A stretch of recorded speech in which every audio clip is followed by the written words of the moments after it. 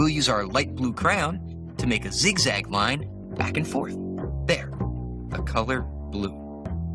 Let's draw an arrow for up. There, up. We draw a puffy shape that curves around like this. And it's a cloud.